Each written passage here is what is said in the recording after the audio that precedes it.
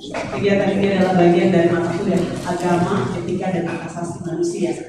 Di depan kita sudah ada para teman-teman mahasiswa yang selama satu semester menulis paper yang mana mereka bekerja keras dan di akhir semester ini mereka telah bersiap-siap untuk mempresentasikannya.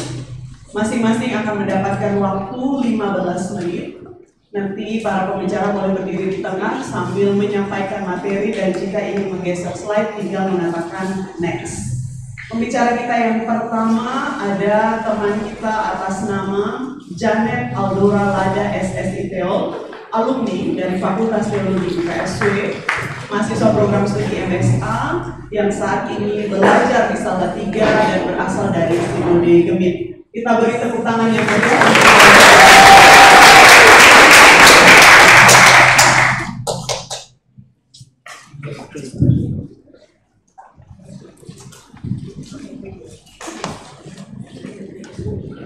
Baik, selamat sore kita semua.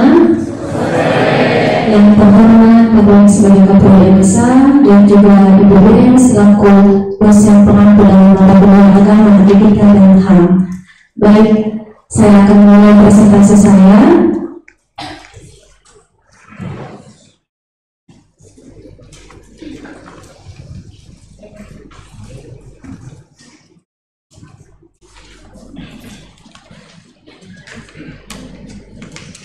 Dalam penelitian ini teman-teman, saya memiliki judul Kajian Etika Solidaritas Disabilitas untuk Pemberdayaan Moral di National Paralympic Committee Salatiga atau NPCS. Nah teman-teman, untuk latar belakang penelitian saya ini, saya berfokus pada isu disabilitas yang mana kalau kita ketahui bersama bicara tentang insan dengan disabilitas tentunya itu berhubungan dengan individu yang memiliki keterbatasan keterbatasan dalam hal apa? keterbatasan secara fisik keterbatasan secara mental, intelektual ataupun sensori yang mana dalam ketika mereka berinteraksi itu terjadi hambatan baik dari individu sendiri maupun dengan keluarga dan lingkungan sosial. Kemudian teman-teman semua, bicara tentang insan dengan disabilitas, IDD termasuk dalam kategori penyandang, kes, penyandang kesejahteraan masalah sosial, yang mana sering kali itu mereka mendapatkan diskriminasi. Tidak hanya diskriminasi, tetapi mereka mendapatkan penolakan. Tidak hanya penolakan, bahkan bisa sampai dalam taraf penelantaran, baik itu di lingkungan keluarga maupun di lingkungan sosial. Kemudian dengan disabilitas, bicara tentang keterbatasan mereka, sering kali hak mereka juga dibatasi. Kalau kita bicara di gereja, tidak jarang kita temui insan dengan disabilitas itu tidak ada perannya. Mereka tidak pernah berkontribusi di gereja, begitu pun di lingkungan sosial. Untuk itu di sini saya memiliki fokus bagaimana insan dengan disabilitas itu sebenarnya harus diberdayakan diberdayakan lewat apa? Adanya wadah untuk mereka. Nah, pemberdayaan ini pada masa sekarang terbentuk melalui upaya masyarakat dalam menyediakan wadah bagi mereka.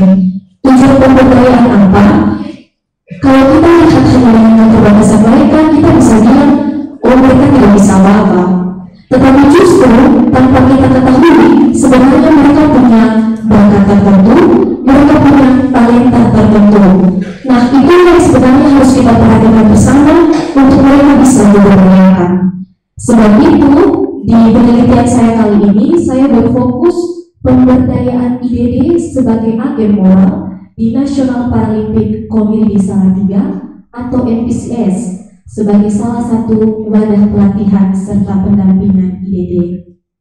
Kemudian Bapak Ibu dan teman-teman, dalam penelitian saya terdapat dua rumusan masalah yang pertama, bagaimana pemberdayaan agen moral di National Paralympic Committee Salatiga. Yang kedua, bagaimana kajian etika solidaritas disabilitas terhadap pemberdayaan agen moral di NPCS. Dalam rumusan masalah ini pun menghasilkan dua tujuan penelitian. Yang pertama, mendeskripsikan pemberdayaan agen moral di National Paralympic Committee Salatiga.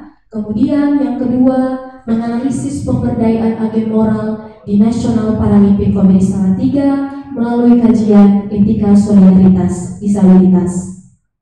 Dalam penelitian, penelitian ini teman-teman ada dua manfaat yang saya kemukakan. Secara teoritis, penelitian ini diharapkan memberikan manfaat dalam hal ini sikap maupun perilaku setiap individu untuk mewujudkan solidaritas itu secara khusus bagi IDD di MPCS.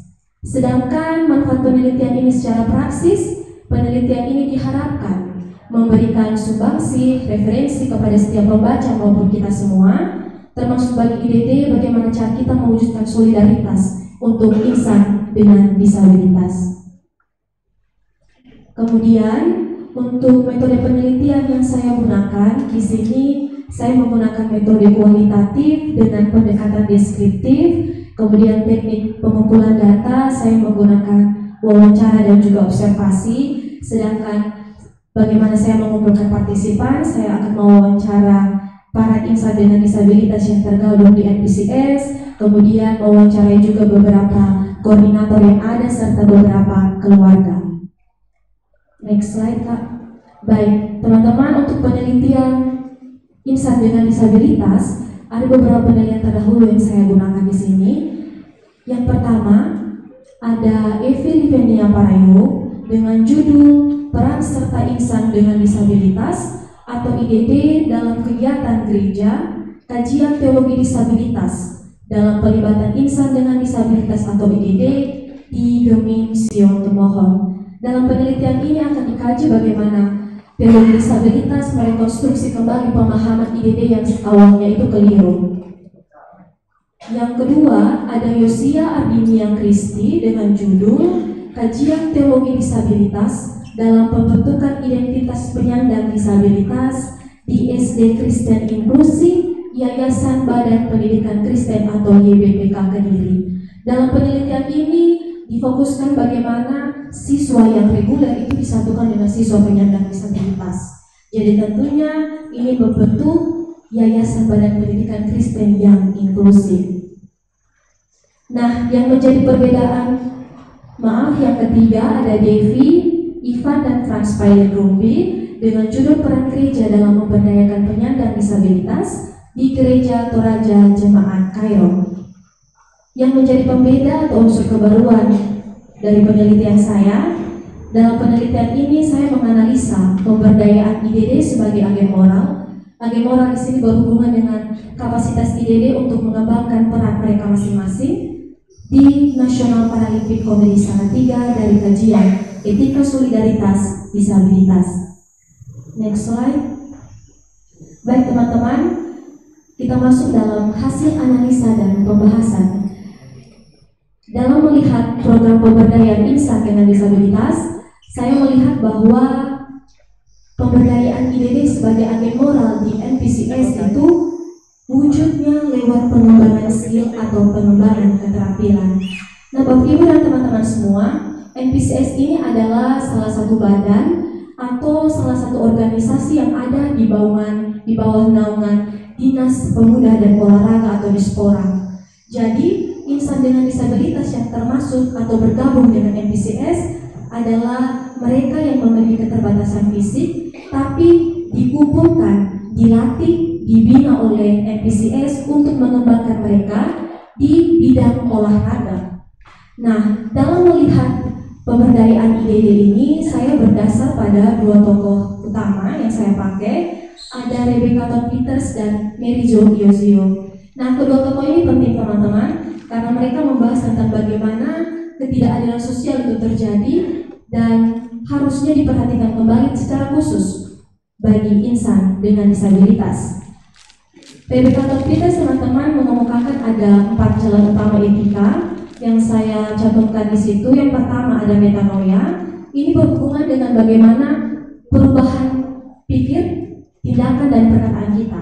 Kemudian yang kedua tentunya sikap menghargai perbedaan. Yang ketiga, solidaritas berciri akuntabilitas. Dalam hal ini ada pengakuan harkat martabat manusia secara khusus bagi insan dengan disabilitas.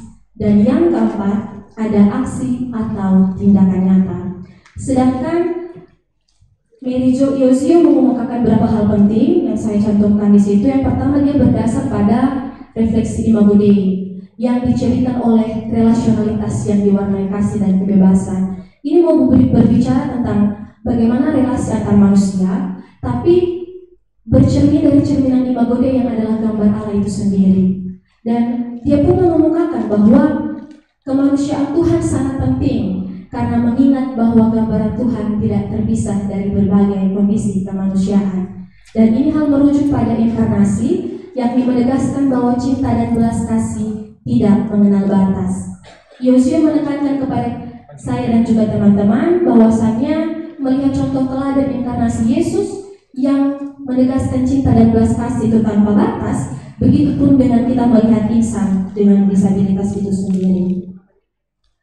Next slide, Pak. Nah, teman-teman, di MPCS sendiri, IDD sebagai agen moral seperti yang sudah saya jelaskan di awal tadi, mereka akan dikembangkan minatnya dalam berbagai cabang olahraga. Kemudian ketika mereka dibimbing, dilatih, mengikuti ajang perlombaan baik di tingkat lokal, nasional, dan internasional, ketika mereka menang pun, mereka akan diberi reward oleh NPCS. Saya melihat di sini bahwa NPCS sebagai wadah pemberdayaan, mereka betul-betul menghidupi empat jalan utama intikal yang dikemukakan oleh Rebecca Peters dan juga Yosio, bagaimana sebagai wadah pemberdayaan, mereka melihat IDD sebagai rekan sekerja dan bukan sebagai objek. Itulah sebabnya di sini saya melihat bahwa NPCS itu menjadi wadah nyata perwujudan angkat cinta kasih Allah kepada sesama. Pada akhirnya teman-teman saya memberi kesimpulan bagi kita yakni kehadiran IDD di keluarga ataupun di komunitas sosial itu bukanlah sebagai sebuah aib. Tapi hadirnya IDD di kehidupan keluarga itu merujuk kepada penegasan bahwa setiap individu punya keunikan dalam kehidupan masing-masing. Sebab itu Cara efektif yang dilakukan MPCS adalah dengan merangkul seluruh agen moral sehingga memunculkan keintiman dalam hal kepercayaan diri untuk menjalani kehidupan mereka. Cara etis yang dilakukan oleh Rebecca Peters dan Yosio menekankan bahwa pemberdayaan penting untuk BDD sebab itu perangkulan yang diwujudkan MPCS kepada agen moral merujuk bahwa individu baik IDD maupun non-IDD memahami bahwa Allah hadir di setiap individu dan juga ciptaannya. Sekian dari saya, terima kasih. Ya, kita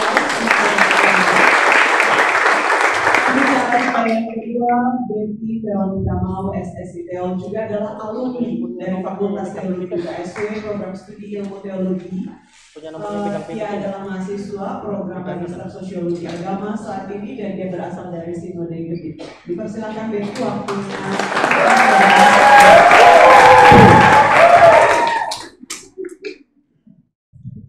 Baik, um, saya akan memaparkan materi saya berkaitan dengan kajian etika pelayan gereja terhadap model kepemimpinan di Komite Bethesda Jugenat, Nusa Tenggara Timur. Manusia sebagai makhluk sosial membutuhkan pemimpin untuk menjaga kesatuan dan juga mengelola kelompok, baik itu kelompok kecil maupun juga kelompok besar. Pemimpin di sini tidak dimaksudkan dengan yang mengambil keputusan saja, tetapi juga bagaimana dia sebagai panutan dengan integritasnya dan tanggung jawab yang dimiliki. Dalam konteks kekristenan, Kepemimpinan sering kali berbeda dengan apa yang diajarkan oleh Yesus Kristus, di mana Yesus Kristus selalu menekankan kerendahan hati dan pelayanan, bukan kekuasaan. Berangkat dari kepemimpinan yang diajarkan oleh Yesus ini untuk menghilangkan penyalahgunaan kekuasaan menjadi pemimpin yang otoriter dan sentralistik, Sinode Gereja Masehi Injili di Timor uh, menerapkan model ke model kepemimpinan kolektif kolegial melalui sistem presbiterial sinodal yang menekankan kerjasama, kebersamaan, dan kesetaraan dalam pengambilan keputusan. Namun model ini uh, sangat berbeda dengan uh, salah satu gereja yang bernaung di bawah Sinode Gemit, yaitu Gemit Betes dan Kilkenat yang berlokasi di Kabupaten Kupang, ibu kota kecamatannya itu uh. Uh, gereja ini memiliki kepemimpinan yang sangat terpusat selama 32 tahun uh, dan tidak ada pendeta yang tetap mendampingi pelayanan di sana selama kurang lebih 32 tahun. Meskipun stabil, uh, model ini kurang terstruktur dan tidak melibatkan partisipasi jemaat yang secara optimal karena minimnya pengetahuan manajemen gereja dan kurangnya perhatian dari ketua majelis. Selanjutnya rumusan masalah di sini saya memilih dua, yaitu bagaimana model kepemimpinan yang diterapkan di GMPT Sertifikanat dan juga bagaimana etika pelayan gereja meninjau model kepemimpinan yang diterapkan di GMPT Sertifikanat. Sehingga dari rumusan masalah ini ada dua juga tujuan penelitian di mana mendeskripsikan model kepemimpinan yang diterapkan di GMPT Sertifikanat serta menganalisis bagaimana etika pelayan gereja menilai model kepemimpinan yang diterapkan di Genit Bethesda Kilkenny. Manfaat uh, penelitian ini ada dua. Yang pertama, penelitian ini diharapkan memberikan sumbangsi akademik dalam menganalisis model kepemimpinan yang dipraktikkan di Bethesda Kilkenny dalam perspektif etika pelayan gereja menurut Joy et Rule Sedangkan prak, uh, praktiknya atau manfaat manfaat praktiknya di sini menjadi acuan bagi pemimpin gereja terkhususnya di dan Kukena untuk mengevaluasi serta memperbaiki model kepemimpinan yang ter diterapkan di dalam organisasi gereja. Metode yang saya pilih di sini ada empat. Pendekatannya kualitatif, data yang akan dilakukan melalui observasi, wawancara serta studi pustaka, Uh, di sini saya menggunakan teknik proposing sampling dengan memilih lima informan saya, lima partisipan saya. Ada penanggung jawab gereja, tokoh pendiri gereja, serta beberapa jemaat yang dirasa mampu untuk memberikan informasi yang tepat. Dan berikut analisis sini saya mengkombinasi data dari wawancara, buku serta jurnal. Ya, di sini ada research gap yang pertama, Elizabeth Sitepu, dia berbicara tentang kepemimpinan gereja. Di mana dia juga membahas pentingnya kepemimpinan yang berkualitas di dalam gereja itu sendiri. Sedangkan yang kedua, Giovanni Adinugroho yang berbicara tentang kajian etika pelayan terhadap identitas jemaat, tentang pelayanan pendeta, studi kasus di GPIB Eva Batu Jajar. Dia membahas bagaimana idealisme jemaat tentang pelayanan pendeta harus diseimbangkan dengan pemahaman dan tantangan etis yang ada serta profesional yang dihadapi pendeta dalam menghadapi pelayanannya. Yang ketiga ya Asoki Tafonao yang meneliti tentang kajian teologi teologis tentang kepemimpinan yang berintegritas serta relevansinya bagi gereja masa kini. Ini dia berbicara tentang integritas dalam kepemimpinan gereja dan bagaimana integritas berperan penting dalam membangun kepercayaan jemaat. Uh, kebaruan yang di dalam penelitian saya ini ada tiga. Yang pertama, yang menjadi pembeda utama di sini, latar belakang historis dan kontekstual gereja tersebut, serta berfokus pada model kepemimpinan gereja yang lain dalam konteks persekutuan doa. Yang berikut, penelitian ini juga menggunakan pendekatan etika pelayan gereja dalam konteks yang lebih spesifik yaitu Bethesda Jogena, di mana menyoroti kondisi unik gereja tanpa pendeta selama lebih dari tiga dekade yang belum banyak dibahas dalam kajian etika pelayan gereja. Pembahasan uh, berbicara yang pertama tentang sejarah gereja. Kalau berbicara tentang sejarah gereja ini cukup kompleks, panjang, dan tidak bisa dijelaskan dengan waktu 15 menit. Uh, mereka berawal dari uh, penolakan. Mereka ditolak di dalam gereja induk, serta itu mereka mulai membangun jemaat mulai sama-sama membangun kapela. Dan di situ ketika mereka mulai membangun ibadah di dalam kapela yang masih dalam rumah darurat, Di situ mereka uh, memilih salah seorang yang bisa menjadi penanggung jawab, yang bisa mendampingi mereka untuk pembangunan gereja. Penanggung jawab di sini mereka sama-sama bekerja bersama-sama dengan orang-orang di sekitar masyarakat lokal. Ada juga dari yang Muslim, yang Katolik. Di situ mereka sama-sama bekerja membangun gereja, uh, pembangunan fisik gereja. Dan pada tanggal 27 Juli 1992 gereja ini diresmikan. Hingga kini gereja belum memiliki pendeta tetap karena keterbatasan keuangan dan prioritas menyelesaikan pembangunan fisik. Beberapa vikaris pun juga sudah pernah ditempatkan di sana, namun belum siap menerima pendeta tetap karena berbagai alasan, termasuk uh, kendala budaya lokal. Yang berikut kepemimpinan terpusat dikendali dikendalikan oleh satu individu. Ya, sejarah panjang yang tadi sudah saya jelaskan secara singkat itu mempengaruhi model kepemimpinan yang terpusat dengan seorang penanggung jawab tunggal yang memegang kendali penuh atas pengambilan keputusan penting seperti pembangunan visi, eh, kegiatan-kegiatan ibadah itu diatur penuh oleh penanggung jawab. Eh, model ini seakan-akan sangat sentralistik, tidak ada eh, keterlibatan atau partisipasi jemaat. Jadi semuanya itu diatur oleh penanggung jawab itu. Ya, mereka hanya berfokus pada pembangunan fisik bukan spiritual. Ada juga pembangunan spiritual, tapi itu tergerak dari Uh, uh, komunitas-komunitas uh, uh, tim, uh, tim persekutuan doa, tidak dari gereja itu sendiri. Yang berikut keputusan dasar diambil tanpa partisipasi jemaat yang luas. Jadi pembangunan gereja, keputusan-keputusan administrasi gereja tidak pernah melibatkan jemaat. Jadi itu murni dari penanggung jawab yang mengambil keputusan tersendiri. Ketika pelayan gereja di sini menurut Joel Trul ada lima integritas dalam kepemimpinan. Uh, dalam integritas uh, Joy Rule ini menjadi fondasi utama dalam kepemimpinan gereja di mana mencakup pengambilan keputusan, interaksi dengan jemaat, pengelolaan sumber daya. Sedangkan di Gemit dan Yukena, meskipun kepemimpinannya yang terpusat memberikan stabilitas, tidak ada masalah, tetapi kurangnya transparansi, keterlibatan jemaat dalam pengambilan keputusan menjadi kurang terbuka dalam jemaat, yang di mana ini merupakan elemen penting dalam etika pelayan gereja. Yang kedua, pelayanan berbasis kasih dan kerendahan hati.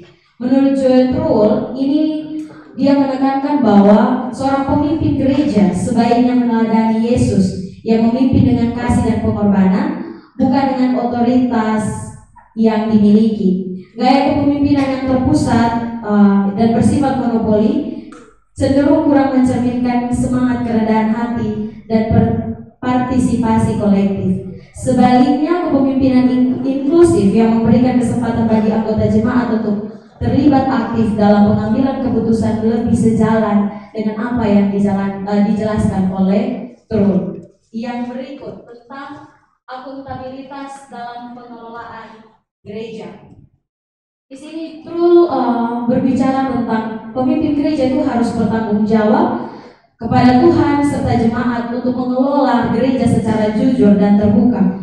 Model kepemimpinan yang terpusat pada satu orang saja ini bisa menimbulkan masalah akuntabilitas, terutama jika keputusan keuangan, pembangunan tidak dibahas secara bersama-sama, itu akan terjadinya persoalan yang besar. Tetapi sejauh ini karena latar belakang jemaat yang mengikuti saja penanggung jawab, mereka tidak mempersoalkan hal itu. Yang berikut partisipasi jemaat. Tadi sudah saya jelaskan bahwa Trul ini sangat menekankan tentang partisipasi jemaat. Nah, dalam etika pelayan gereja, seorang pemimpin itu harus selalu melibatkan jemaat dalam setiap pengambilan keputusan. Tetapi berbanding terbalik dengan apa yang terjadi di lapangan, itu sangat tidak, bukan tidak, sangat tidak, tapi hanya sekelompok orang saja yang mengambil keputusan dan itu disepakati mereka jemaat hanya mengikuti saja.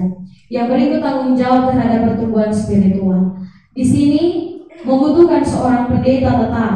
Menurut Joy Trun, harus ada seorang yang mendorong pertumbuhan spiritual jemaat. Tetapi tidak ada pendeta selama 32 tahun.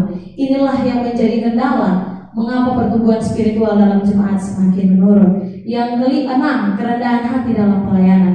Nah, kerendahan hati dalam pelayanan ini bukan mengejar kekuasaan dan uh, mendahulukan kepentingan pribadi, tetapi selalu mendahulukan kepentingan jemaat. Sehingga apa pun yang diambil, diputuskan selalu harus mendahulukan apa yang dimau oleh jemaat.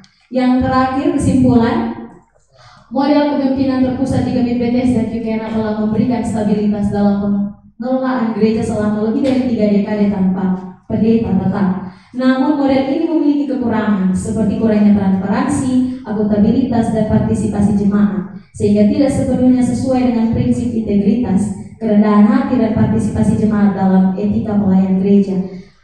Sehingga saran yang diberikan, gereja sebaiknya mengadopsi model kepemimpinan kolegial yang lebih inklusif untuk meningkatkan transparansi, akuntabilitas, dan keterlibatan jemaat dalam pengambilan keputusan. Penerimaan pendeta tetap juga diperlukan untuk mempertimbangkan serta mendukung pertumbuhan spiritual jemaat dengan pendekatan kolegial dan melibatkan jemaat. Gereja dapat mempertahankan stabilitas serta memperkuat transparansi, partisipasi, dan keberlanjutan pelayanan dalam gereja. Sekian dan terima kasih.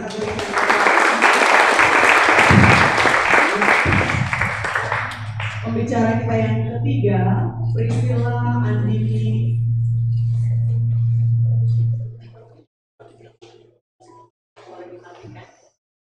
Priscilla Andini Ratu Banju SSIPO adalah alumni dari Fakultas Teologi UKSW dan saat ini menjadi mahasiswa program studi Magister Sosiologi Agama.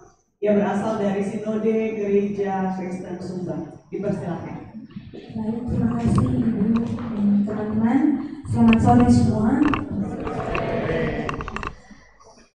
Judul yang saya angkat dalam artikel saya adalah kajian etika identitas anak dulu Pakipue atau anak yang lahir di luar nikah dalam komunitas Sabu di Sumba Timur. Mengapa saya mengangkat topik ini? Karena saya melihat bahwa kehidupan masyarakat pada umumnya cenderung membeda-bedakan anak yang lahir di luar pernikahan yang sah dengan anak yang lahir di dalam pernikahan yang sah. Di mana uh, perbedaan tersebut ditandai dengan uh, stigma bahwa anak yang lahir di luar pernikahan itu merupakan anak haram, bahkan disebut sebagai anak yang lahir karena hasil persinahan dari laki-laki uh, dan perempuan yang bersangkutan. Tidak hanya dalam kehidupan masyarakat, tapi juga dalam hukum Indonesia, dalam undang-undang tentang perkawinan, juga disebut bahwa anak yang lahir di luar nikah hanya memiliki hubungan perdata dengan ibunya. Tapi yang menjadi inti pembahasan dalam tulisan ini adalah bagaimana komunitas Sabu memandang dan menyikapi identitas dan kedudukan atau status anak yang lahir di luar di luar pernikahan yang sah. Nah di sini budaya Sabu anak yang lahir di luar nikah disebut sebagai anak dobui pakipue yang berarti anak yang jatuh di pokok karena kelahiran yang di luar pernikahan yang sah. Nah dalam budaya Sabu kehadiran dari anak dobui anak dobui pakipue ini tetap diterima keberadaannya bahkan seluruh hak-haknya untuk mendapatkan perhatian, kasih sayang dan seterusnya itu diusahakan untuk terus dipenuhi. Lalu uh, penyebutan kepada anak Dobi Pakebue juga dipengaruhi oleh istilah-istilah uh, terkhususnya dalam budaya atau adat Kinoto yang di sini juga menentukan kedudukan dan posisi dari anak tersebut. Kenoto itu adalah uh, proses perkawinan dalam adat Sabu. Meskipun demikian, teman-teman dan bapak ibu, uh, kelahiran atau kehamilan dari kelahiran atau kehamilan di luar pernikahan yang sah itu memang tidak dapat dibenarkan secara normatif dan di sini saya mengambil contoh untuk menyikapi dalam masyarakat komunitas Sabu menyikapi kehamilan dan kelahiran anak di luar nikah saya mengambil contoh dalam perspektif agama karena e, komunitas Sabu itu kebanyakan adalah beragama Kristen jadi ketika ada perempuan yang hamil di luar nikah maka akan dilakukan ia harus melaksanakan yang namanya disiplin gereja atau mengaku dosa. Selanjutnya. Adapun penelitian-penelitian terdahulu yang membahas tentang anak di luar nikah. Yang pertama, Deli Larido dengan judul Mama Ana Dobui Pakai Kue atau anak yang lahir di luar nikah bagi orang sabu. Dan yang kedua, Adrian Arista Wardana dengan judul Pengakuan Anak di Luar Nikah, Tinjauan Yuridis tentang Status Anak di Luar Nikah. Dan yang ketiga, Muhammad Faizul Roman dan kawan-kawan dengan judul Kedudukan Anak Luar Nikah dalam masyarakat desa masyarakat adat desa Jatilangkung Mojokerto perspektif hukum Islam yang menjadi kebaruan dalam penelitian atau tulisan ini saya akan menganalisis identitas anak yang lahir di luar nikah menurut komunitas Sabu di Sumba Timur. Nah, anak yang lahir di luar nikah dalam komunitas Sabu pada umumnya dianggap sebagai berkat dari Tuhan sehingga kehidupan anak tersebut sangat diperhatikan hak-haknya seperti yang sudah saya jelaskan tadi. Dan juga identitas anak Dubuni Pakepue ini dipengaruhi oleh pandangan dari dalam diri individu tersebut juga dari luar diri individu. Selanjutnya, oh ya, untuk ber, untuk uh, latar belakang ini saya mengangkat pertanyaan penelitian ada dua. Yang pertama, bagaimana pemaknaan identitas Ana Debui Pakipue dalam komunitas Sabu di Timur? Yang kedua, bagaimana kajian etika identitas terhadap identitas Ana Debui Pakipue dalam komunitas Sabu di Timur? Berdasarkan rumusan masalah ini, maka tujuan penelitian saya adalah mendeskripsikan pemaknaan identitas Ana Debui Pakipue dalam komunitas Sabu di Sulawesi Timur dan yang kedua menganalisis identitas anak Debui Pakipue dalam komunitas Sabu di Sumba Timur dengan perspektif etika identitas. Metode penelitian yang saya gunakan di sini adalah metode penelitian kualitatif dengan pendekatan deskriptif dan fenomenologi untuk menjelaskan serta menganalisis perilaku komunitas Sabu dalam menyikapi kehadiran anak Debui Pakipue. Dalam teknik pengumpulan data, saya akan melakukan uh, saya melakukan uh, observasi partisipatif dan juga wawancara terstruktur. Untuk menganalisa kasus ini, saya menggunakan dua teori dari dua tokoh. Yang pertama, Erik Erikson. Dia merupakan seorang psikologis dan psikolog dan psikoanalisis yang terkenal dengan teorinya tentang tahapan perkembangan psikososial, di mana ia, ia sebut identitas sebagai psikososial karena hal ini selalu berkaitan langsung dengan inti jiwa sekaligus inti dari kebudayaan dalam masyarakat dan pastinya akan selalu berkaitan dengan pembentukan identitas dari diri individu. Tokoh yang kedua itu Kuan Leandroni Apia, dia merupakan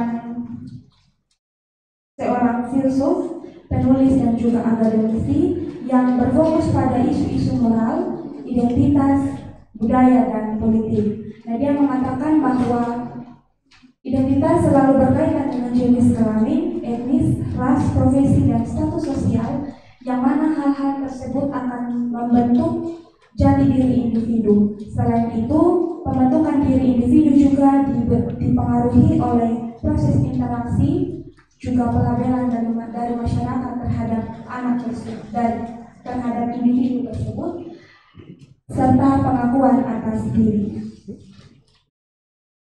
Ya, hasil penelitian. Di sini saya akan menjelaskan dulu pengertian anadobui pakipu.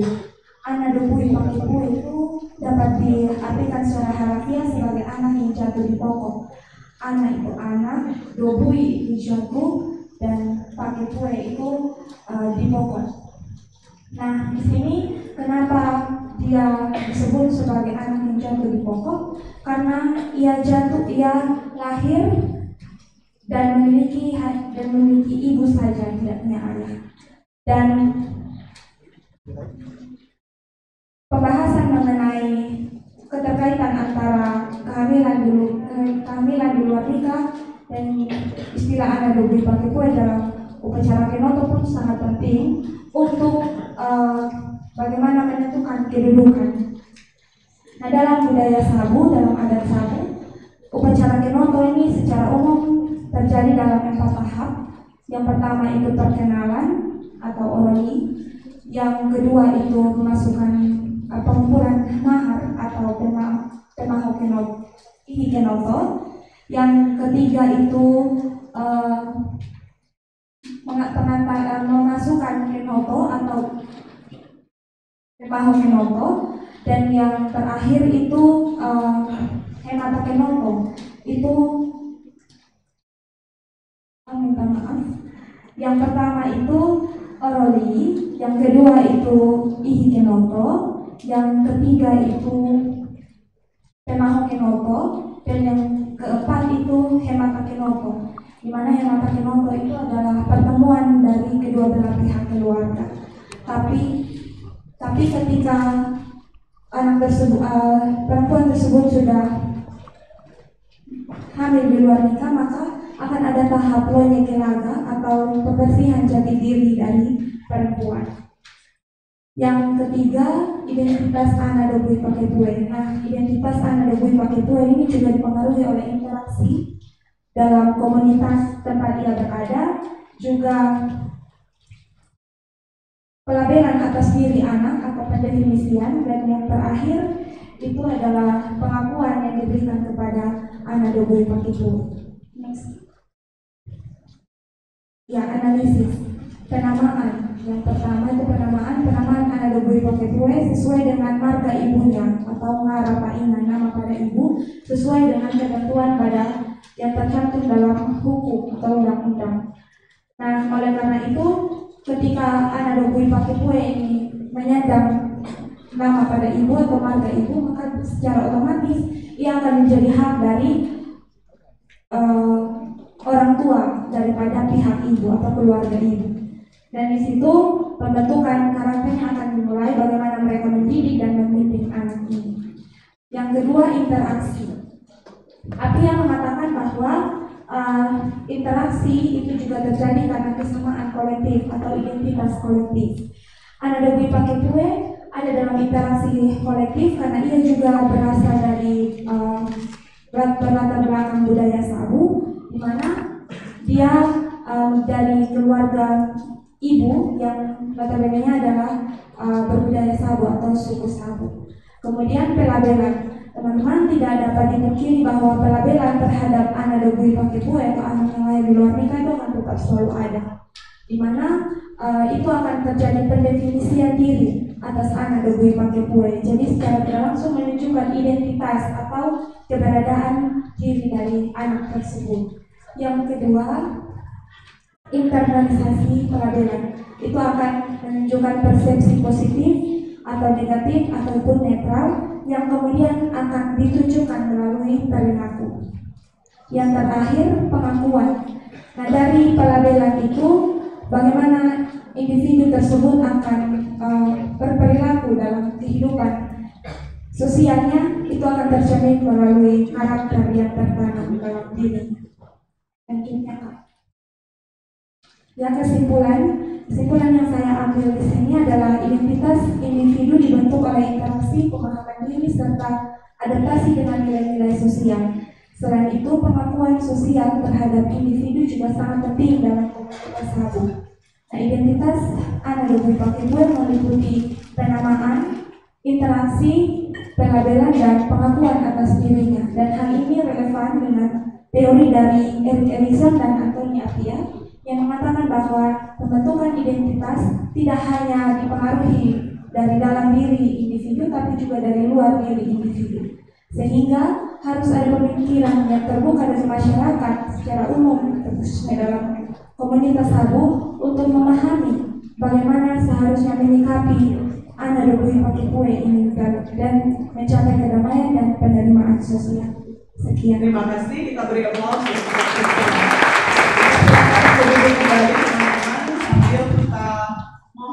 kehadiran Tio dan Pak untuk maju ke depan. Dipersilahkan Bapak dan Adik. Pembicara kita yang berikutnya adalah Tio Sani Princely KA, STH MSI. Dia adalah alumni dari program studi magister sosiologi agama. Saat ini sedang belajar sebagai mahasiswa program doktor sosiologi agama angkatan 2024 mengambil mata kuliah etika solidaritas karena itu ikut serta dalam presentasi pola bina ini. Tio berasal dari gereja Masih Injili di Minahasa atau Ludim. Waktunya 15 menit Tio, dipersilakan.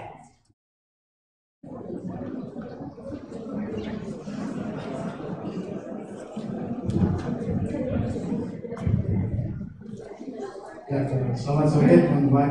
Sore uh, Tema saya itu solidaritas perlawanan komunitas Sexani Island dalam mempertahankan peradaban kepulauan. Uh, mengapa mengangkat uh, tema ini? Pertama, uh, saya dekat secara emosional dengan Pulau Sangihe. Saya memiliki memori-memori yang indah di Pulau Sangihe. Uh, sebelumnya uh, teman-teman ada orang Sangihe di sini pernah mendengar gerakan SSI Sangihe Island pernah uh, pernah membaca gerakan ini dalam jurnal. Sudah sudah ada. Ada yang mentesiskan uh, gerakan ini? Nah, itu alasan kedua karena belum ada yang mentesiskannya. Dan alasan yang ketiga pulau ini terlalu indah untuk ditambang. Ya itu alasan saya untuk uh, next solidaritas perlawanan komunitas Sensei Island ini dia merupakan gerakan masyarakat sipil dalam mencari spatial justice atau keadilan spasial bagi peradaban kepulauan. Kenapa? Karena di tahun-tahun di tahun 2021 itu Kementerian Energi dan Sumber Daya Alam, Sumber Daya Mineral (SDM) itu memberikan izin kontrak kerja kepada PT Tambang Mas atau PT TMS yang berasal dari Kanada. Selain dari itu, eh, operasional tambang itu dia akan menambang 42.000 hektar dari kepulauan Sangihe. Itu setara dengan 57% pulau. Eh, kontraknya itu dari 2021 sampai 2054, ada 33 tahun. Dan uh, tambang uh, pulau ini kecil dan dia akan ditambang selama 33 tahun 57 persen. Nah, dampaknya itu dampak dari operasional tambang itu ya dia akan merusak sistem biota biota laut. Oke okay, next. Ini situasi problematik saya. Nah, mengapa ada semacam pembangunan atau ideologi pembangunan? Kita tahu bersama bahwa di zaman Orde Baru atau rezimnya Presiden Soeharto, dia mengeluarkan wacana repelita, rencana pembangunan lima tahun. Ideologi pembangunan itu muncul dari dari sana. Walaupun memang uh, secara historis kita tahu bersama di zaman Presiden Soekarno juga ada. Nah, uh, ideologi pembangunan ini itu wacana yang lahir dari rezim Orde Baru yang membuka ruang bagi kapitalisme global untuk masuk dan ber berkembang di Indonesia termasuk menambang kepulauan Sangihe. Jadi pembacaan teknologinya dari ideologi pembangunan itu kita bisa dapat dan mengapa kapitalisme global masuk di Indonesia. Kemudian di sini ada kerusakan ekologis. Nah, uh, pulau ini kecil dan Pulau Sangihe ini itu tempat migrasi tuna untuk mengitari dunia. Nah, kalau ditambang, kalau uh, pesisir lautnya atau lautnya rusak gitu. Tuna tidak mungkin lagi lewat di kepulauan Sangihe dan dampaknya kerusakan ekologis ini itu banyak sekali. Uh, hulu ada 70 hulu sungai di sana, gunung Sahen Deruman itu juga akan rusak begitu. Uh, kemudian ada kekerasan terhadap masyarakat sipil yang dilakukan oleh negara. Kenapa? Di tahun 2021 saya uh, tergabung dengan teman-teman saya di gerakan mahasiswa nasional Indonesia GMI dan Aliansi Masyarakat Nusantara dan PKN. Saya tergabung dari mengadvokasi masyarakat dan kemudian rupanya di sana ada semacam kekerasan dari negara. Kenapa e, masyarakat sipil yang tergabung dalam SSI itu selalu e, dicegah untuk melakukan demonstrasi. Padahal demonstrasi itu hal yang lumrah dalam sistem demokrasi. Dan di sini juga ada ketidakadilan spasial Kenapa ada ketidakadilan spasial? SSI ini berusaha untuk memproduksi ruang kebebasan bagi uh, peradaban kepulauan, bagi proses mereka untuk mencari kebutuhan di alam. Tapi itu semua dikontrol oleh tambang dan negara secara uh, sistem ini. Nah, itu kemudian muncullah solidaritas perlawanan SSI sebagai kekuatan sipil. Next. Uh, ini research gap saya. Pertama, uh, saya uh, mengambil Prof. Yusak sebagai salah satu gap saya yang melihat uh, ekologi itu atau mengkaji gereja sebagai komunitas ekologis. Lalu kemudian ada Ferry Setiawan yang menarasikan teori pembangunan pada skala nasional. Lalu ada Naima Talib, identitas kewarganegaraan melalui kepulauan pembentukan identitas kewarganegaraan.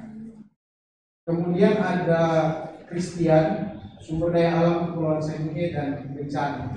Nah, Christian ini yang mengangkat tentang uh, uh. Uh, berdasarkan research gap, penelitian saya ini menganalisis solidaritas perlawanan komunitas Safe Island sebagai kekuatan masyarakat sipil dalam mencari spatial justice bagi peradaban kepulauan atas ancaman ideologi pembangunan. Next. Ini landasan teori saya. Pertama saya menggunakan Aldo Leopold, land ethics atau etika tanah, etika tentang lahan. Uh, Aldo Leopold ini seorang ekolog yang terkenal dalam bukunya uh, yang Almanak itu kalau teman-teman mungkin pernah membacanya. Uh, di sana dia mengusulkan semacam dikotomi hubungan antara manusia dan alam. Nah, lalu kemudian dia juga memberikan semacam e, cara berpikir yang cukup baru tentang komunitas biotik bahwa manusia itu harus menghargai alam sebagaimana alam itu e, kalau secara teologis terlebih dahulu ada begitu. Saya menggunakan Leopold untuk melihat bagaimana Pulau Sangihe sebagai komunitas biotik yang ada di dalamnya itu perlu dihargai.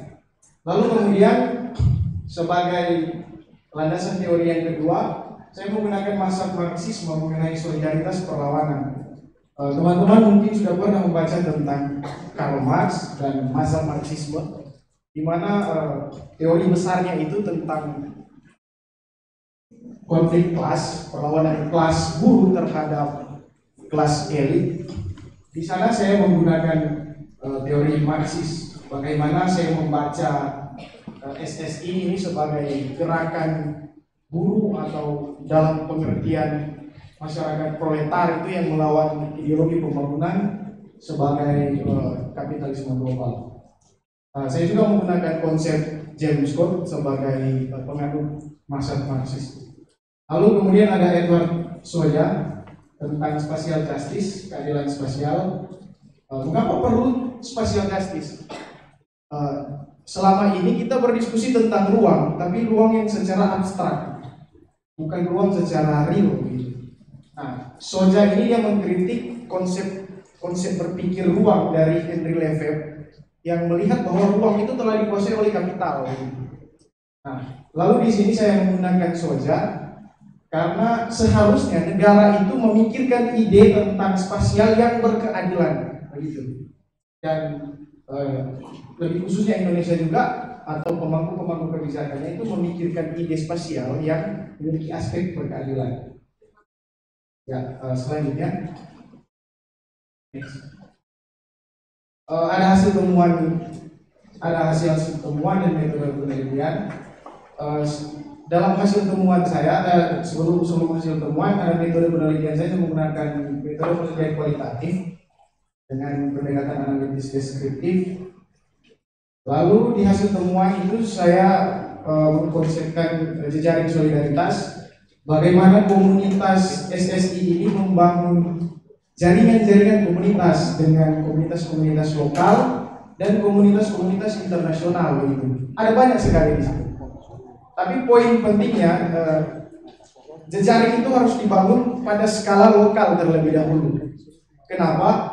Karena kalau pada skala uh, lokal, dia akan memobilisasi massa untuk melakukan protes atas ketidakadilan. Nah, begitu. Lalu kemudian uh, upaya pencarian spatial justice ini um, diberi kekuatan oleh kekuatan masyarakat sipil itu kalau memakai analisis James Scott itu dia bergerak bukan hanya sekedar pada ranah formal gitu atau kalau di hari ini kita berpikir regulasi normatif masuk ke ranah hukum untuk uh, hukum banding begitu dia bergerak ke pertama tentu dari lingkungan kita sehari-hari begitu bagaimana kita bercerita uh, alam kita mau rusak nah, itu kita sudah melakukan semacam perlawanan mungkin kalau dikonsepkan perlawanan tak berbentuk. Uh, lalu uh, pencarian uh, apa uh, apa tadi jejaring jejaring solidaritas bagaimana komunikasi saya dan uh, membangun jaringan-jaringan untuk melawan uh, ideologi pembangunan. Lalu kemudian proses penciptaan spasial justice. Pada tahun 2023 12 Januari SSI telah menang di MA Mahkamah Agung. Mereka telah menang dan MA berhak MA membatalkan kontrak kerja PT TMS bersama dengan Kementerian ESDM menang. Uh, walaupun sudah menang, tapi PT TMS ini tetap bersikeras untuk menambang. Kenapa? Ternyata genealoginya itu atau role pembangunannya itu sudah ada sejak tahun 1997 kontrak kerjanya. Jadi sekarang itu generasi ke-6 mereka bersikeras untuk menambang walaupun secara regulasi normatif itu sudah selesai begitu dan e, beberapa masalah di, di sana juga terjadi penambang-penambang ilegal. Nah, itu juga turut merusak e, mekanisme biotik di dalam e, perkembangan peradaban e, sebenarnya masih banyak sekali itu e, hasil data analisis saya. Saya tiba pada kesimpulan bahwa e, tidak ada negara yang miskin. Yang ada itu adalah kemiskinan sistemik. Karena akibat dari kemiskinan sistemik ini, negara melakukan kekerasan terhadap masyarakat sipil. Itu uh, presentasi dari saya. Terima kasih. mendengar empat pembicara, bagaimana perasaannya teman-teman? Paham? Punya paham semua ini ya. Kita mau icebreaker dulu, saya persilahkan kepada KKFC untuk memimpin icebreaker. Setelah itu kita akan melanjutkan presentasi debat.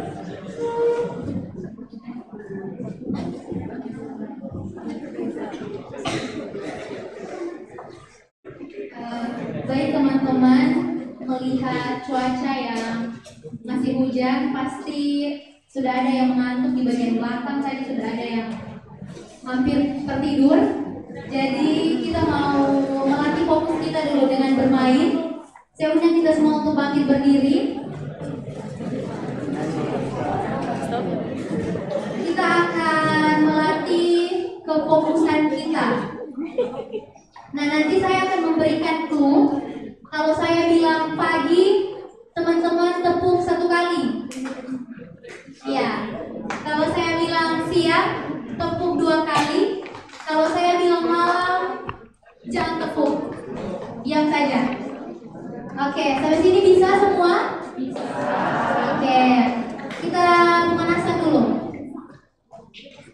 Pagi, siang, malam. Masih pemanasan? Tidak apa-apa, tidak apa-apa kak. Kita ulang lagi. Ini sudah akan lebih cepat. Pagi, siang, malam. Siang, pagi, malam. Oke, mantap. Sekali lagi, ini sudah akan lebih cepat lagi. Pagi-pagi, siang-siang, malam. Pagi, siang, siang-siang, pagi, pagi, pagi, malam. Oke, masih ada yang salah. Oke, kita coba lagi. Masih banyak yang belum fokus. Siang, pagi, siang, siang, malam. Oke, lagi. Oke teman-teman yang masih belum fokus harap untuk mulai tarik nafas terus fokus. Kita coba lagi. Malam.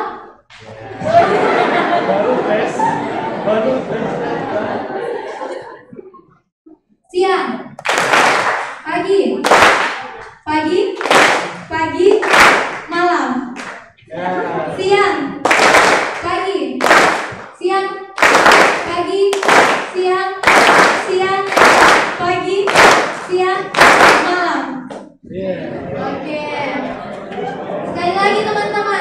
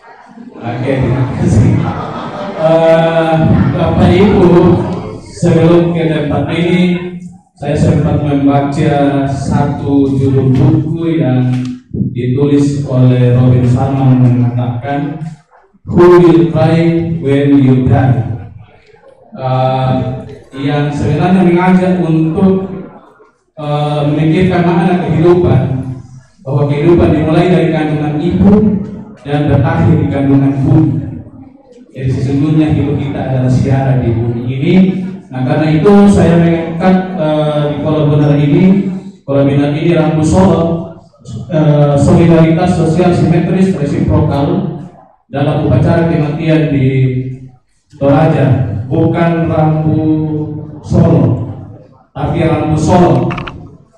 E, Rambu itu artinya asap. Solo itu menurun. Jadi asap yang menurun bagaimana kaitan antara asap yang menurun dengan kematian ini berkaitan dengan tempat pelaksanaan upacara kematian dalam konteks Toraja itu ketika matahari sudah terbenam di sebelah barat. Next slide. Jadi uh, materi presentasi saya uh, next slide. Itu saya sesuaikan dengan format penulisan uh, jurnal artikel jurnal yang terdiri dari abstrak, pendahuluan, situasi problematik, riset gap, kemudian uh, riset question, kemudian uh, interdisciplinary uh, framework, kemudian result, discussion, and conclusion. Next. Nah ini uh, abstrak. Lanjut saja. Saya Nah, uh, ini pendahuluan di artikel saya ini saya membedakan antara kata toraja dengan kata toraya. Eh, kata manusia toraja dengan manusia toraya. Eh, kalau teman-teman men-search eh, yang akan ditemukan itu adalah manusia toraja, tidak akan menemukan manusia toraya. Tetapi dalam tulisan ini saya menggunakan manusia toraya karena toraja itu dalam konteks kekinian itu lebih menunjuk kepada daerah administrasi pemerintahan yaitu Kabupaten Tanah Toraja dan Toraja Utara. Sementara untuk manusianya atau orang Toraja, orang Toraja itu disebut Toraya. Nah di, di tulisan ini saya membedakan itu.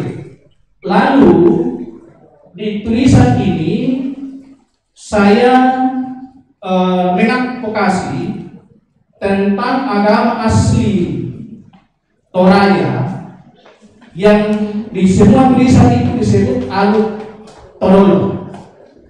Alu itu artinya agama atau kepercayaan, tololo itu artinya leluhur orang dulu. Jadi agama leluhur atau agama orang dulu. Saya advokasi saya tidak menyebutnya alu tololo, tapi alu toraya. Artinya agama toraya. Mengapa? Karena ini masih eksis sampai sekarang. Kalau menyebutnya toraya berarti itu meminggirkan kepercayaan suku. Nah, e, sementara Rambu Solo upacara kematian itu dalam konteks kekerajaan itu mengakar dalam alun Toraya. Nah, karena itu dalam tulisan ini saya kemudian menggunakan pendekatan interdisipliner etika dengan sosiologi agama dengan membahasnya dalam perspektif Altoraya dengan perspektif kontemporer di mana Kekristenan sudah mayoritas di eh, Toraja. Next. Nah ini next. Ini situasi problematik. Jadi eh, situasi problematik yang terjadi di Toraja, eh, saya angkat dari dua perspektif. Perspektif dari luar yang menyebut bahwa Toraja atau orang Toraja itu karena memang Toraja yang kalau berbicara tentang Toraja secara umum yang di, pasti yang dikenal itu ialah apa upacara kematian kan Bapak Ibu saudara-saudara pasti itu. Nah, apa yang dikenal? Karena mahalnya upacara itu, iya kan? Maka muncullah penilaian dari luar yang mengatakan Toraja, eh, Toraja itu hanya hidup untuk mati. Artinya seluruh hidupnya itu hanya difokuskan untuk bagaimana dia mati, membiayai kematian. Maka adalah buku yang pernah dipamerkan di sini yang menulis tentang hidup untuk mewahnya kematian. Nah ini dari perspektif luar. Saya melihatnya ini sebuah eh, problem yang kemudian tidak melihat eh, kebudayaan lokal itu sebagai sebuah potensi nasional. Nah, yang kedua ialah situasi problematik di mana memang dari penilaian di luar ini tidak bisa di eh, begitu saja. Ada benarnya karena dalam konteks internal Toraya mengalami yang namanya entropi budaya di mana memiliki warisan budaya leluhur tetapi kemudian mengalami yang namanya kerapuhan, kekaburan dalam menghidupi makna nilai budayanya itu dalam hal upacara kematian.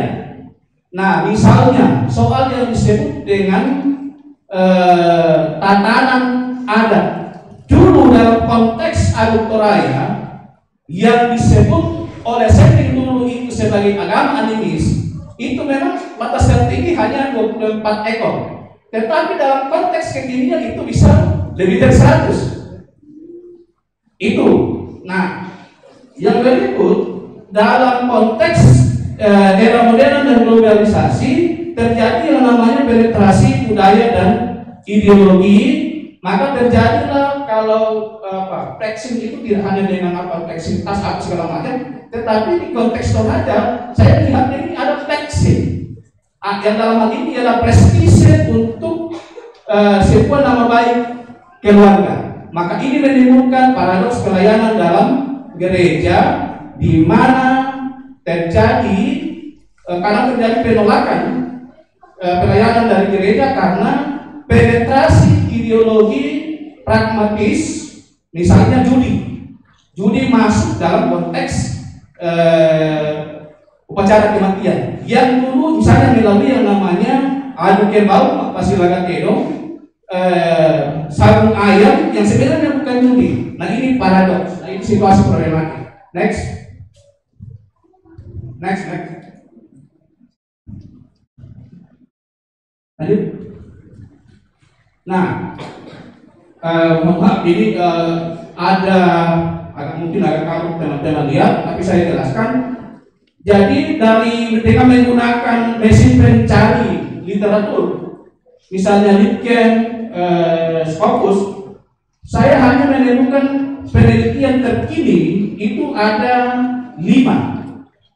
Tapi semuanya menyoroti upacara kematian itu dalam paradigma pendekatan ekonomi di mana uh, sistem kapitalisme tradisional itu memang mulai merangsek masuk di dalam upacara kematian. Yang dalam konteks Alutoraya kepercayaan asli Alutoraya uh, pengopalan kerbau babi itu berkaitan dengan agama. Dalam hal bagaimana menuju ke alam nirwana yang disebut puya kalau teman-teman baca tentang Toraja yang ini ada yang salah paham memahami bahwa puya dalam konteks al itu adalah surga. Bukan. Ada tulisan eh, kawan dosen di sini itu saya sudah klarifikasi Buya itu bukan surga tetapi semacam semacam eh, ruang liminalitas antara bumi dengan heaven langit langit yang bermakna surga Ah, itu, itu itu saya eh, klarifikasi nah novelty yang saya eh, temukan di sini dari semua selain pendekatan-pendekatan yang berbeda adalah belum ada yang kemudian membahas tentang solidaritas eh, as, asimetris resiprokal dalam upacara kematian dalam konteks eh, kearifan lokal. Next, lanjut. Nah, ada dua pertanyaan yang saya coba ajukan. Bagaimana nilai solidaritas dalam solidaritas sosial dalam upacara Rabu Solo yang mengakar dalam alam Toraya? Karena ini soal sosiologi agama. Lalu bagaimana nilai solidaritas sosial dalam pelaksanaan Rabu Solo di era kontemporer di Toraja? Lanjut. Nah ini lanjut. Nah ini eh, dua teori yang saya gunakan. Teori sosiologi agama itu menggunakan teori Emil Durkheim tentang teori solidaritas eh, mekanik sebagai eh, yang memperkuat ikatan relasionalitas dan menjadi modal sosial Toraya dalam eh, masyarakat. Lalu saya menggunakan teori etika solidaritas dari Knut Elger di mana dia menekankan tentang eh, cinta kasih dan kepercayaan sebagai wujud solidaritas dan ini lebih sebenarnya Elger itu etikanya itu berbasis pada etika Kristen. Lanjut. Nah, eh, sebelum Nah, ini teman-teman eh, kalau orang Toraja ini tahu James Kepo bilang gini. Deno hubungan Deno Saleko. Ini ini harganya bisa seharga Pajero. Iya, bisa sampai setengah, bisa sampai setengah M. Nah, Iya, tapi itulah kemudian budaya. Saya tidak bisa jelaskan di sini. Saya langsung penelitian. Makanya ada yang mengatakan kalau mau menikah dengan perempuan Toraja mengatakan apakah apakah nenek atau kakek masih hidup? Ah, bagi yang perempuan ini kan dia juga karena persoalan ini. ini kan lanjut. Nah, dalam pembahasan eh, penemuan saya, Ramsolo itu adalah fakta sui generis masyarakat Toraja yang memang melekat dan itu adalah apa kekayaan budaya nasional. Lalu yang berikut, temuan yang berikut adalah solidaritas sosial Toraja dalam Rabu Solo itu ada dalam bentuk gotong royong yang syarat, masyarakat, kebersamaan atau kasih urusan. Nah, mengapa sampai sekarang itu ada banyak yang bau? Karena kasihan kalah. Jadi misalnya saya saya bersahabat dengan Pak Tony. Ketika ada golongan Pak Tony meninggal, karena kedekatan saya, saya dibawa ke bau itu sekarang. Jadi bukan tidak terbatas pada ikatan kekeluargaan sekarang. Nah, yang berikut ialah ada saling peduli, saling menopang, kemudian uh, ada melayat uh, yang secara umum itu ialah tongkol. Yang berikut, kemudian ada ikatan solidaritas Toraja dalam Ramso yang terkuat. Mengapa upacara kematian Toraja yang disebut Solo itu eksis tetap eksis di era kontemporer karena persoalan ada ikatan keluarga besar yang berbasis tongkonan klan tongkonan famili kemudian ada komunitas distrik dalam hal ini kampung ada kelompok kecil dalam kampung yang disebut kopu ada kelompok sosial organisasi eh, keagamaan dan organisasi organisasi sosial inilah yang memperkuat ikatan solidaritas eh, dalam Ramu Solo kemudian next Ya. Nah, dalam diskusi saya memberikan tiga subbagian. Yang pertama itu adalah Ramu Solo dalam perspektif Altoraya. Mengapa saya berikan ini? Karena e, dalam tulisan yang saya baca mengajak balaukan antara perspektif upacara kematian dalam agama asli Toraja dengan kontemporer. Jadi tidak bisa dibedakan. Maka di sini saya membedakannya. Lalu pembahasan yang kedua fakta sosial dalam Solo di era kontemporer inilah yang mulai dipengaruhi oleh agama khususnya agama Kristen Nah, karena ini sosiologi agama. Lalu yang ketiga ialah spesifik dengan solidaritas sosial simetris resiprokal dalam Ramus Solo. Next, slide yang terakhir. Kesimpulan, jadi eh, ikatan solidaritas dalam Ramus Solo itu adalah modal eh, sosial, lalu ikatan solidaritas dalam Ramusolo dalam konteks Alutoraya itu bersifat asimetris religius. Artinya dulu tidak ada tuntutan untuk mengembalikan. Telongkonga yang saya bawa yang tadi harganya bisa seharga Pajero, tapi dalam konteks era kontemporer kemudian itu ber, berubah menjadi simetris resiprokal, artinya saling berbalas. Nah, yang terakhir ialah peran tiga pilar yang menopang kehidupan dalam masyarakat Toraja yang disebut tandu batu balikan atau tiga batu tungku dari daerah ini saya lupa. Tiga batu tungku artinya di situ ada pemerintah ada tokoh agama ada tokoh adat yang kemudian berperan untuk tetap bagaimana kekayaan budaya Toraja ini tetap lestari dalam memperkuat ikatan solidaritas Toraja di mana pun. Makanya Bapak Ibu teman-teman, Toraya yang ada di Kalimantan, Toraya yang ada di eh, khususnya di, di Kalimantan atau di Papua, dalam hal Ramu Solo bisa disaksikan bagaimana ikatan solidaritas mereka. Karena memang eh, ikatan-ikatan eh, solidaritas itu kuat di antara masyarakat Toraja. Demikian presentasi saya. Terima kasih. Sudah berdiri.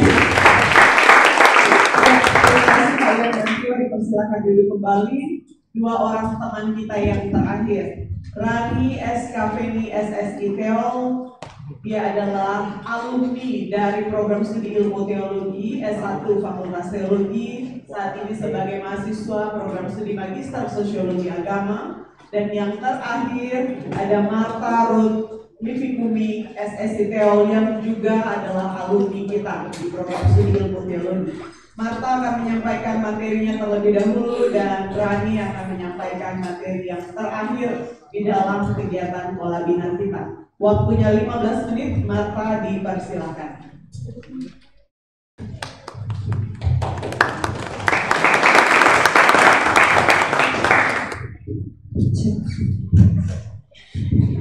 Baik, selamat malam Bapak Ibu dan teman-teman semua.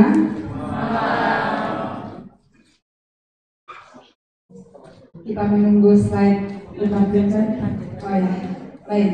Uh, pada kesempatan ini saya akan mempresentasikan artikel saya dengan judul Kajian Etika Kepedulian terhadap Posisi Pekerja Cleaning Service di Fakultas Teologi Universitas Kristen Satya Wacana.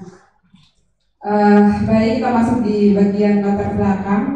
Ada tiga poin penting yang melatar belakangi mengapa uh, saya mengambil uh, peran pekerja cleaning service untuk uh, dijadikan sebagai artikel. Ada tiga poin penting yaitu pertama uh, melihat bahwa posisi dan peran pekerja cleaning service sering kali diabaikan dalam diskusi uh, diskusi tentang etika terkhususnya mengenai etika kepedulian dan juga uh, tanggung jawab sosial. Uh, kita ketahui bersama bahwa cleaning service atau layanan kebersihan ini memiliki uh, merupakan suatu pekerjaan yang uh, sangat penting dalam suatu institusi, secara khusus institusi pendidikan dalam hal ini uh, Fakultas Teologi. Kemudian saya melihat yang kedua mengenai stigma sosial. Uh, kita ketahui bersama bahwa uh, cleaning service sering kali mendapatkan stigma sosial bahwa uh, pekerjaan mereka yang kurang bernilai atau tidak terhormat. Karena melihat juga bahwa pandangan sosial yang menganggap pekerjaan tersebut tidak bernilai tetapi sangat penting untuk layanan di dalam ke- di dalam eh, Fakultas Teologi. Kemudian eh, melihat bahwa walaupun eh, cleaning service ini dia melakukan pekerjaan yang sangat penting eh, dalam kontribusinya tentang kebersihan dan kenyamanan di lingkungan kampus, eh, saya melihat bahwa adanya ketidakpastian di dalam eh, pekerjaan karena eh, melalui hasil penelitian eh, diketahui bahwa pekerjaan cleaning service ini merupakan eh, pekerjaan yang terikat dalam sistem kontrak dan eh, dipekerjakan melalui vendor. Artinya eh, pekerjaan yang mereka lakukan ini eh, bersifat jangka pendek dan eh, dalam sistem kontrak itu tidak tidak menentu apakah nanti kontraknya itu diperpanjang atau eh, diperpendek. Kemudian eh, selanjutnya next. Adapun rumusan masalah yang eh, saya tulis di sini yaitu bagaimana tinjauan etika kepedulian terhadap posisi pekerja cleaning service di Fakultas Teologi. Kemudian tujuan penelitian saya menganalisis posisi pekerja cleaning service melalui perspektif ethics of care. Next.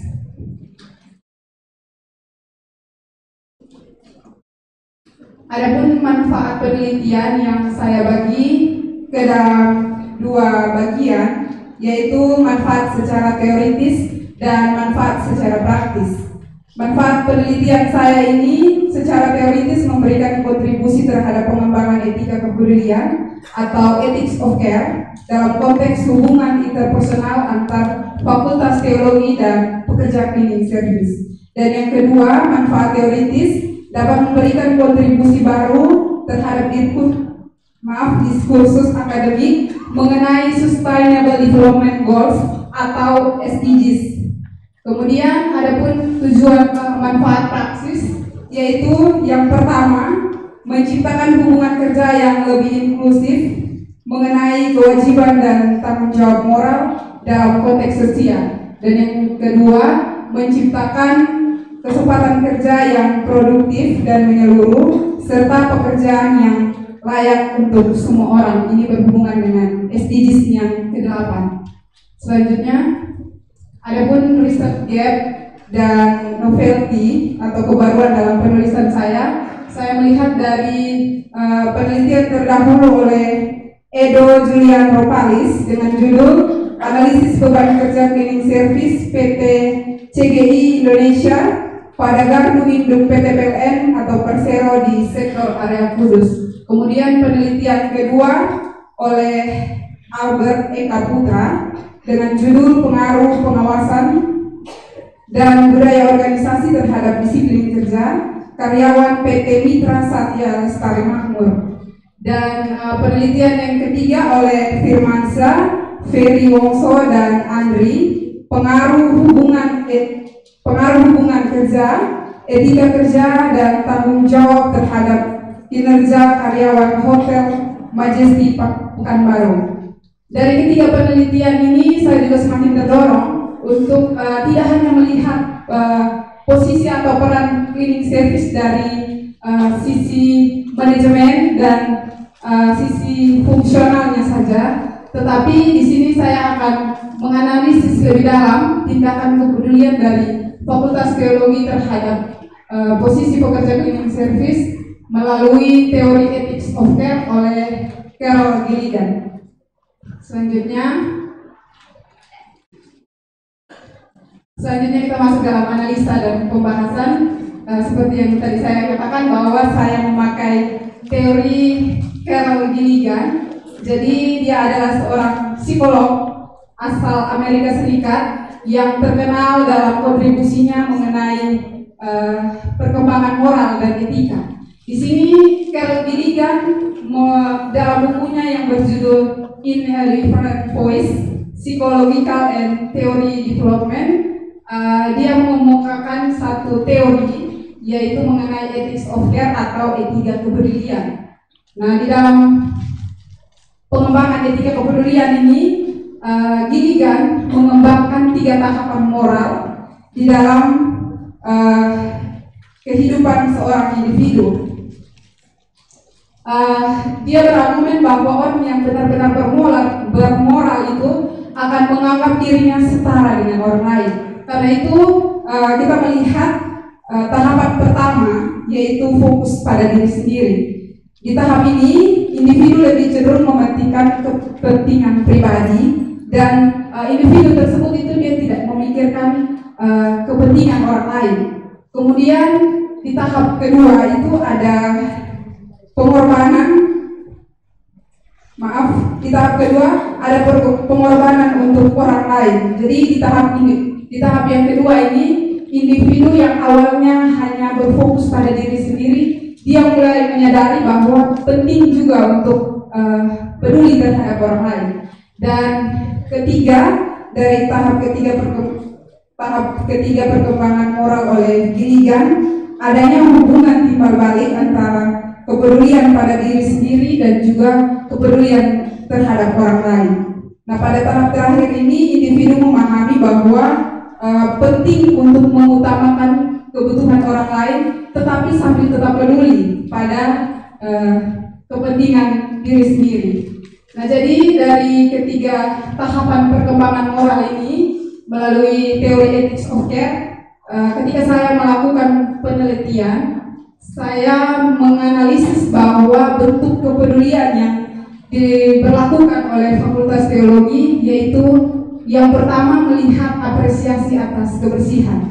Jadi uh, Fakultas Teologi mengapresiasi uh, kebersihan kontribusi yang dilakukan oleh pekerja cleaning service tidak hanya melalui kata-kata, tetapi uh, ada juga pemberian souvenir uh, pada saat hari raya hari raya besar seperti hari raya Natal dan uh, pemberian makanan gratis ketika uh, Fakultas Teologi mengadakan rapat di Fakultas Teologi. Jadi uh, dari bentuk tindakan kepedulian ini saya mencoba menganalisis juga dengan uh, melihat misi Fakultas Teologi yaitu membangun manusia seutuhnya. Kemudian uh, Bentuk kepedulian ini juga saya melihat mengenai hak asasi manusia yang pada prinsipnya uh, tidak mengutamakan uh, maaf pada prinsipnya hak asasi manusia uh, menghargai harkat dan martabat manusia.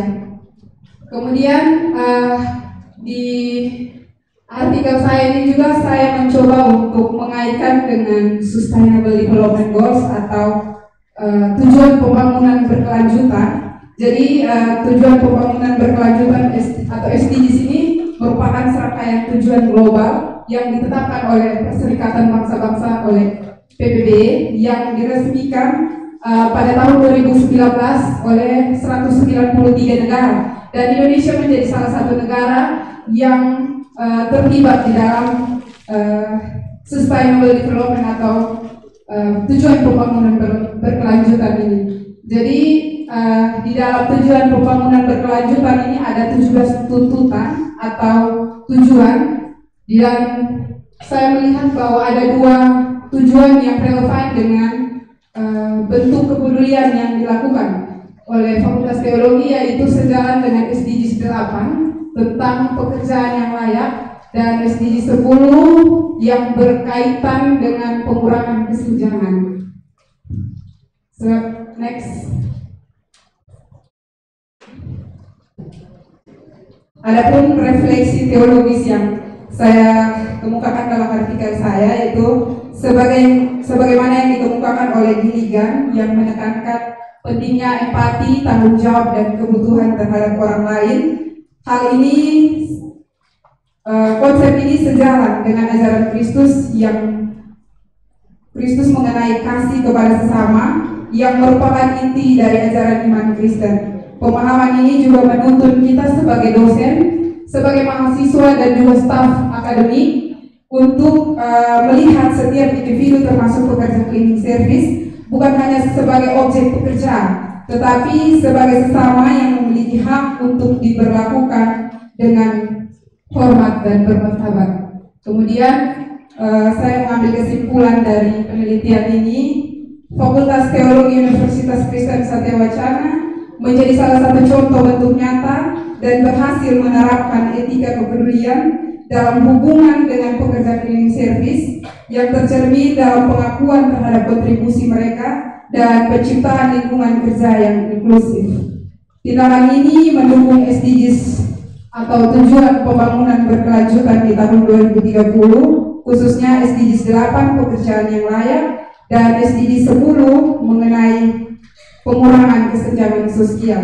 Dalam penelitian meskipun didapati berbagai tantangan yang dihadapi oleh pekerja cleaning service, tetapi pendekatan yang berbasis kepedulian membantu uh, membangun hubungan kerja yang bermakna dan mempromosikan kesetaraan sosial serta penghormatan terhadap hak asasi manusia. Terima kasih. Terima kasih kita beri aplaus. Rani Pena, waktunya 15 menit. Baik, terima kasih Ibu Moderator. Selamat malam Bapak Ibu dan juga teman-teman semua. Baik, saya akan mempresentasikan hasil penelitian saya yang saya tuangkan dalam artikel dengan judul Kajian Etika Sosial Feminis terhadap Posisi Perempuan dalam Tradisi BV UPAP Sukudawan di Biboki Utara. Salah satu tradisi yang menarik perhatian saya untuk diteliti yaitu tradisi perkawinan yang berada di suku di Pulau Timur, terkhususnya di suku Dawan, di Biboki Utara, di Nusa Tenggara Timur.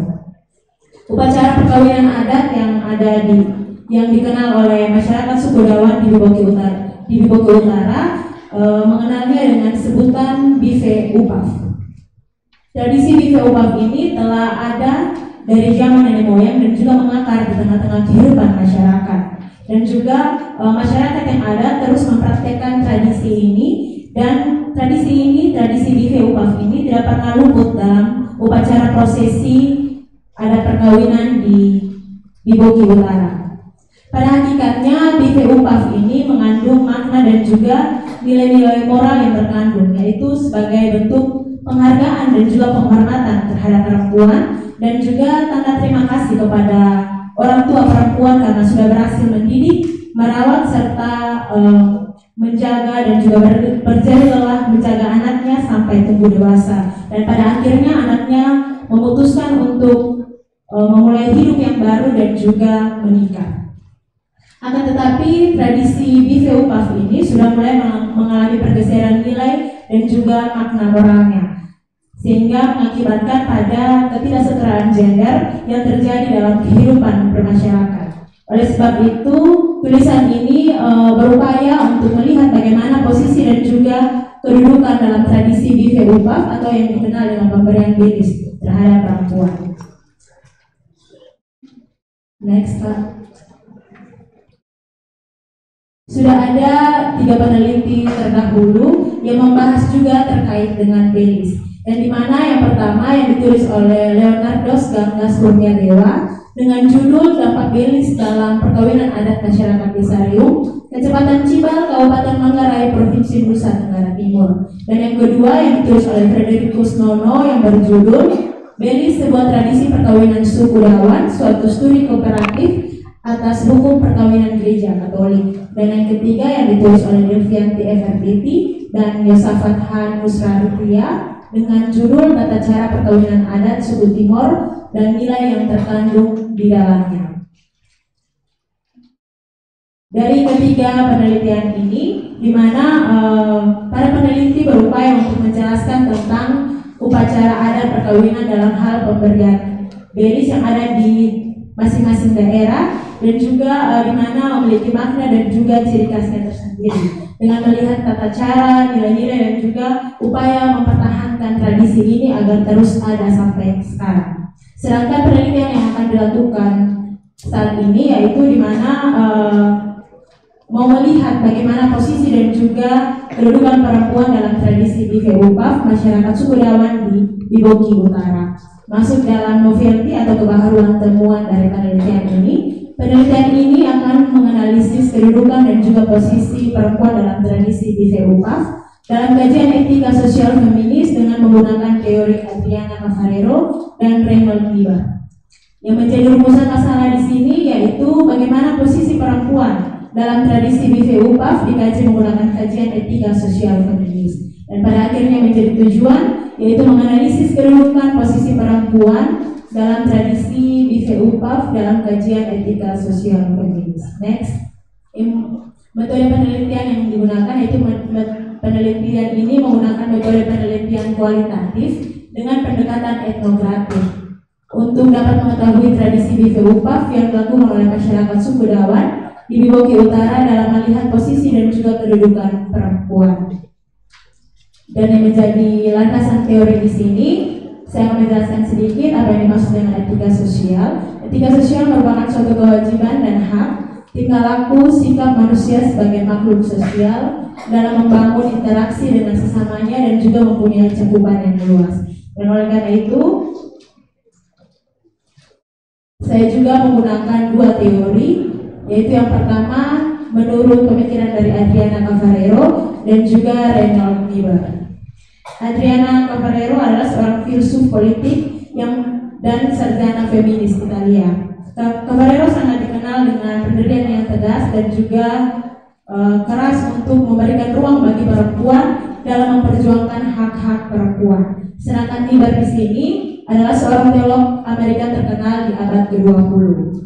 Kedua tokoh ini begitu eh, menekankan pada pentingnya kebahagiaan, kesetaraan dan juga penghargaan terhadap individu, terkhususnya dalam topik yang akan dibahas ini yaitu perempuan. Cavalero berfokus pada hak setiap individu terutama perempuan untuk meraih kebahagiaan, mewujudkan cita-cita mereka tanpa dibatasi oleh norma-norma patriarki yang ada di tengah kehidupan masyarakat.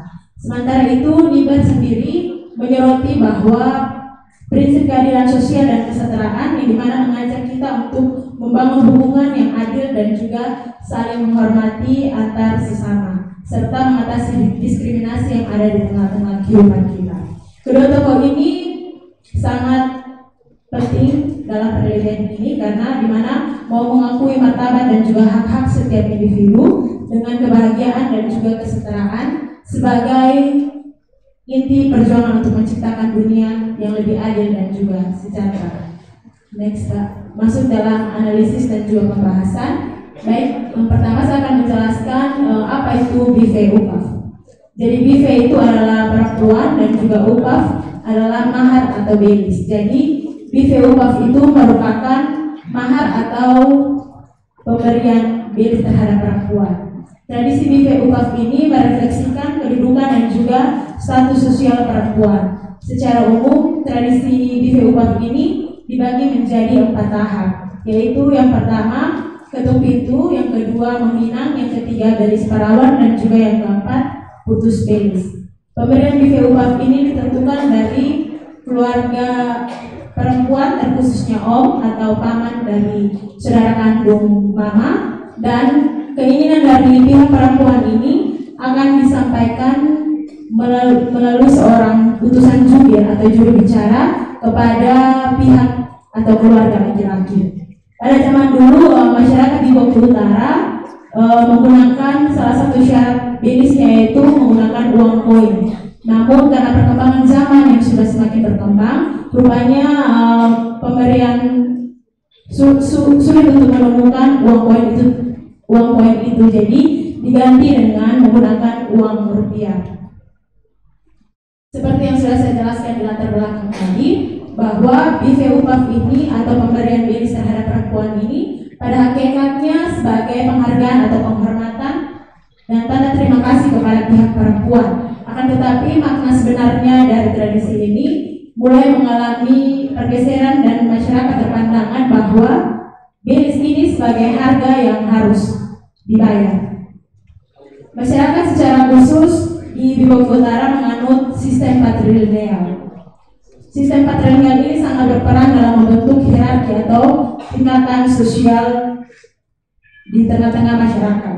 Dalam sistem patrilineal ini, garis keturunan dan warisan biasanya ditentukan melalui pihak keluarga laki-laki, sehingga peran lebih dominan dalam struktur sosial dan kehidupan berkeluarga.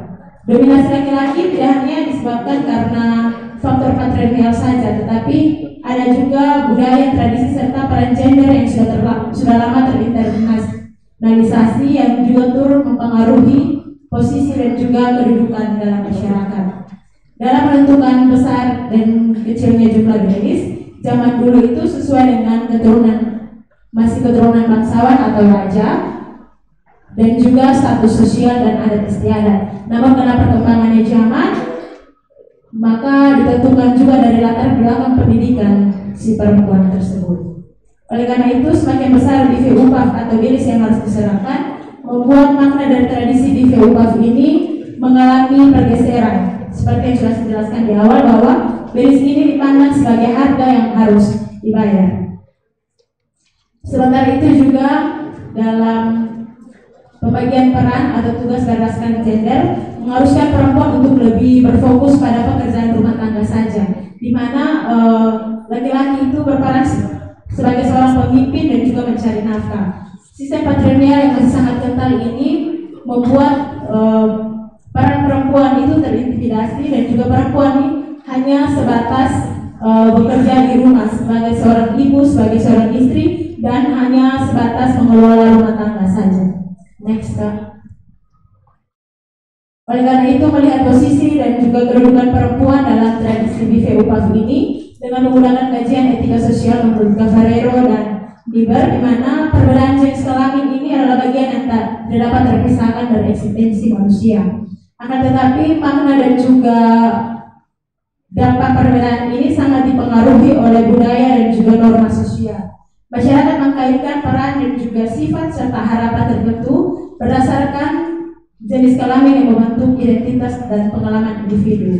Dalam hal ini, feminisme tidak hanya bagaimana melawan ketidakadilan yang terjadi di tengah kehidupan bermasyarakat, akan tetapi juga berkaitan dengan bagaimana menciptakan ruang untuk kebahagiaan, kesenangan, dan juga pemenuhan diri. Cabalero sendiri menekankan pada kebahagiaan. Kebahagiaan ini menjadi elemen penting dalam perjuangan feminis dalam pengalaman hidup manusia yang harus dihargai terlepas dari peran tradisional dan sistem patrilineal yang ada.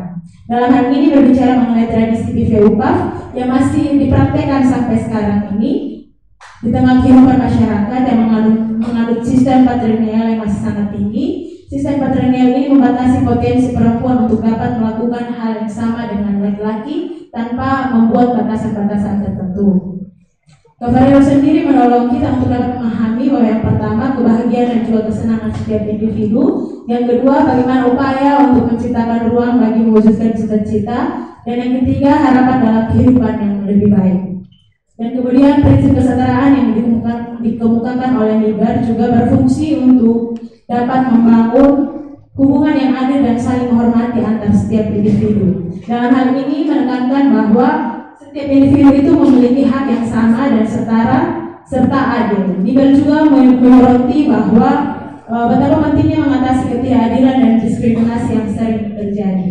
Prinsip kesetaraan ini seharusnya memberikan pemaknaan untuk lebih menghargai setiap individu termasuk perempuan dalam setiap aspek kehidupan dan bukan memposisikan perempuan lebih rendah tingkatnya dibandingkan laki-laki. Oleh karena itu pada masuk dalam kesimpulan tradisi BPU UPAF ini pada masyarakat suku Dawan awalnya mengandung nilai penghargaan terhadap perempuan, namun rupanya tradisi ini mulai mengalami pergeseran nilai dan makna karena pengaruh sistem patrilineal yang menempatkan laki-laki sebagai otoritas utama.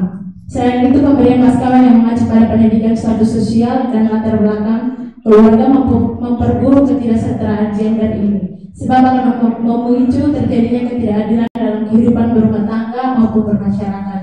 Oleh karena itu, Cavarero dan Ibar menekankan bahwa pentingnya kesetaraan dan kebahagiaan bagi setiap individu, termasuk perempuan yang berhak hidup tanpa terikat norma patriarki.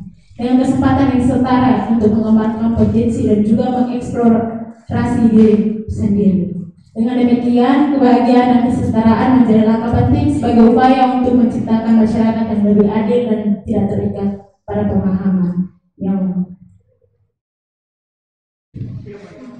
pemahaman yang mendiskriminasi. Sekian presentasi saya, terima kasih.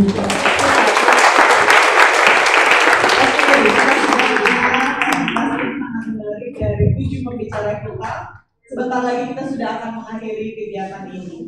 Tapi sebelumnya, para pembicara membutuhkan masukan, pertanyaan dari teman-teman semua dalam rangka memperbaiki karya mereka yang nantinya akan mereka publikasikan setelah dikumpulkan di dalam mata kuliah yang diambil semester ini. Kita akan mulai hanya satu sesi pertanyaan saja. Kita akan mulai dari pembicara yang pertama. Bagi teman-teman yang ingin bertanya kepada Kak Janet, silakan mengangkat tangan dan saya akan persilahkan untuk bertanya. Pembicara yang pertama, dipersilahkan. Kak Janet silakan bersiap-siap untuk mencatat nanti